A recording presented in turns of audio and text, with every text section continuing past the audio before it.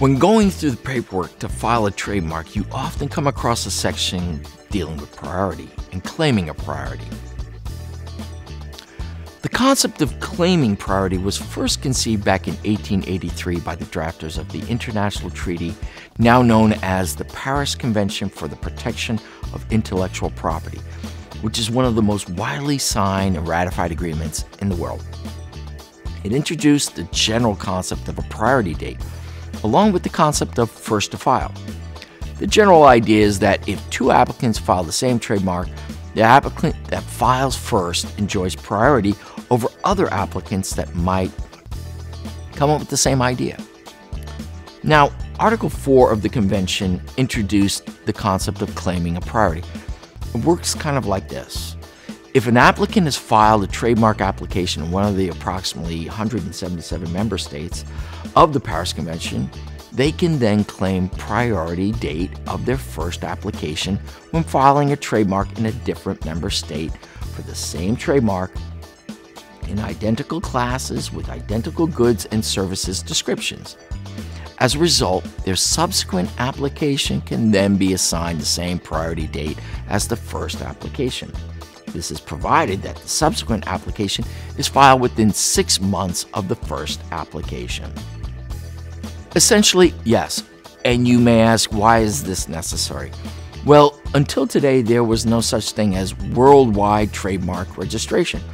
Every trademark jurisdiction maintains their own registry, so in order to obtain the protection of a registered trademark worldwide, one has to register the specific trademark in every jurisdiction the applicant wants to ensure protection.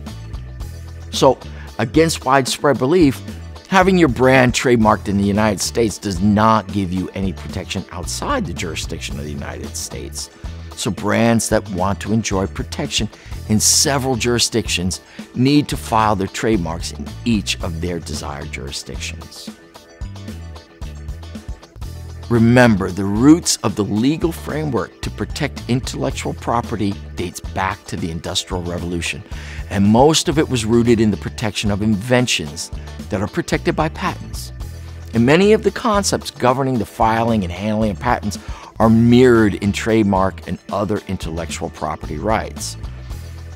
Now, while it's not a big deal today to file your trademark online in a dozen countries on the same day, the Paris Convention dates way back to 1883, when filings in local trademark offices involved actual travel, and for that purpose, retaining a local representative to do so on the applicant's behalf. In the late 19th century, there was no internet, no fax machine, no DHL, and getting a European trademark application to the United States Patent and Trademark Office involved the actual transportation of the document and the person applying for the registration. The fathers of the Paris Convention figured that this six month grace period should be sufficient for anyone trying to protect their intellectual property in whatever jurisdiction they wished. In addition, this concept helps avoid trademark trolling that would otherwise be possible as trademark applications are publicly available one could actually make it a business to watch trademark applications in one country, then take the same information and file a similar or even identical trademark in a different country right away. However, due to the original applicant getting the priority of its first trademark by using a priority claim on the subsequent trademark within six months of the first filing, such endeavors are not very promising. The deadline of the Paris Convention for the priority claim is absolute. No excuse will be able to extend it. So, whether your dog went to the hospital after breaking his leg or you got bumped off a flight and therefore could not get to a fax machine, well, none of that counts. However, there are concepts that allow you the option to get protection beyond the six month deadline, especially if you're unsure if you want to spend a lot of money trademarking a brand you're not convinced of yet.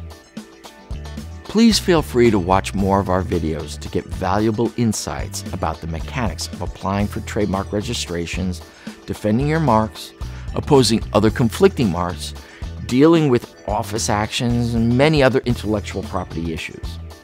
My name is Jonathan Morton, and I'm a licensed U.S. attorney and a member of the Trademarkers Network. Don't forget to subscribe.